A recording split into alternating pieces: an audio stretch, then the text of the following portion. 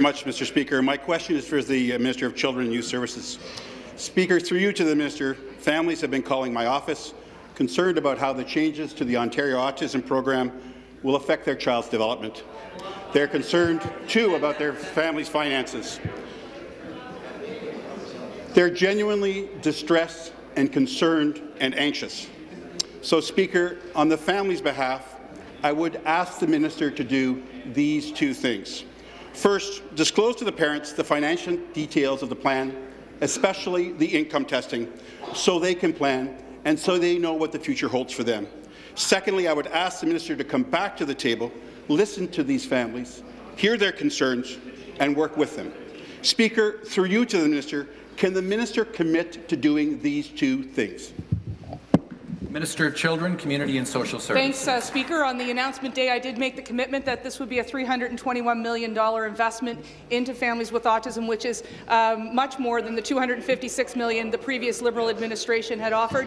In addition, within, with respect to income testing, we were very clear that it is for those who make over $250,000 per year. But let me be perfectly clear. I have met with parents of autistic children uh, throughout my career. In fact, the first protest I ever attended was with Families for Autism in front of his office when he worked for Dalton McGuinty after the previous Liberal administration took families uh, with children of autism to court. Uh, I have uh, been steadfast in my resolve in trying to support all of the families, but it was unconscionable that the previous Liberal government left 23,000 children on an endless wait list with no hope in sight for support from their Ontario government. So I will stand here, I will defend our plan. It is fair, it is equitable, and most of all, Speaker, it is sustainable Response. for now and well into the future. Supplementary.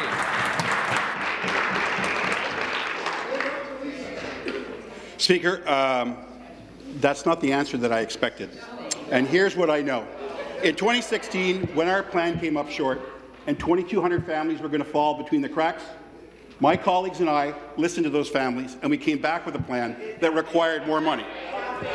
And every one of us can agree here that this is about children and their families. It's not a partisan issue. So what we need to have happen here are two things. To disclose the financial details, it's simple, it's straightforward. They need to know about the income testing. And to sit down with these families, to work with them. I know this is a challenging issue in here. I've been on the other side of it.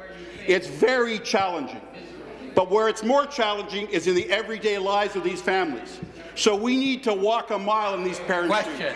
Can the minister commit to doing these two simple things? Minister. Speaker, I just answered the question. 321 million, which is a lot more than the 256 that they had offered. We are offering to ensure that we clear the wait list of Opposition, come 23,000 children. It was unconscionable to deny three out of four children in this province, 23,000 children, service from their Ontario government. We're going to make it fair. We're going to make it equitable. We're going to make it sustainable. We are doubling the investment into diagnostic hubs. We are Sure. going to Opposition, come to order. direct funding. What is wrong, though, Speaker, is when that government, the previous Liberal government, left office, they were morally, ethically, and ideas bankrupt. They left the province almost bankrupt. And on June the 27th, I inherited an Ontario autism program that was bankrupt. Shame on them.